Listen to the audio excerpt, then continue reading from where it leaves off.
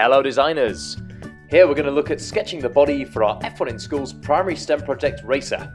So you've already sketched the chassis and all we're going to do now really is, is take a pencil to it. So you can see here, we've just sped the film up so that we're not spending too long showing you, but really just using ISO sketch, helping us get the geometry or the, the lines in parallel so that all the drawing looks right and really just starting to draw features onto the chassis. So here we're just putting a little bit of a nose cone on, I'm going to look at putting a front wing on, so I'm just going to use ISO sketch here and draw some lines across on the drawing and just start smoothing things off. So we're just thinking about how the car might look and how it might perform with this front wing. We're going to put some end fences on here, some end plates to the wing.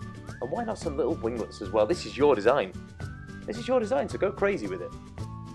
There's no right or wrong, no rule book here, so you can put as many fins on your car as you want. That's great news, isn't it? So I'm going to look at the back now as well. So why not why not make the back a bit more curved as well? Putting a little bit of a shape on there. Just following it round, so we're keeping everything in parallel with the rest of the drawing.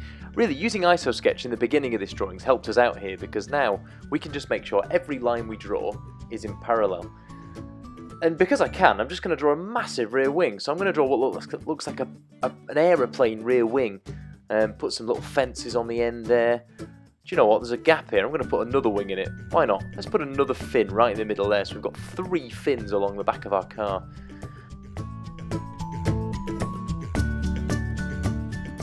All we're doing here then is just adding a bit of marker pen, and you can do this with felt tip pen, you can do it with coloured crayons, you can even do it with a pencil. And all I'm doing really is just starting to draw or put some colour in some of those darker areas or even just some of the different sides, different surfaces of our car. So you could choose to do this any colour you want. I'm just using a dark grey to begin with, um, and I'm going to put a bit of colour on the wheels, bit of colour on the body, and just really start to start to make it look a bit more, a bit more fun.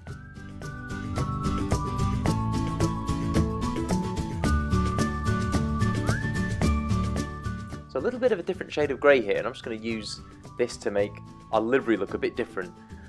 Now we're really starting to have some fun and putting some yellows, some reds, different features, putting a bit of shadow on the car, drawing around the underneath of it to make it look like it's got some sun beaming down on it, and then finally some go faster whooshes to make it look really fast.